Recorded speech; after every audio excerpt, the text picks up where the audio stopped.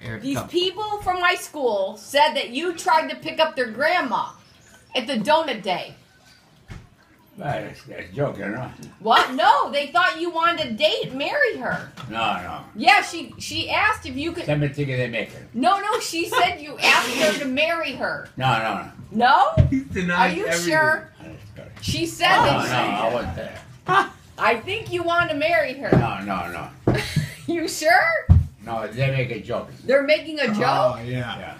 I don't know, Dad. She said she thought she was gonna buy a wedding dress. No, no, no. Yeah, you asked her to marry her. Tell me, tell me, joke around. No, she thinks you're serious.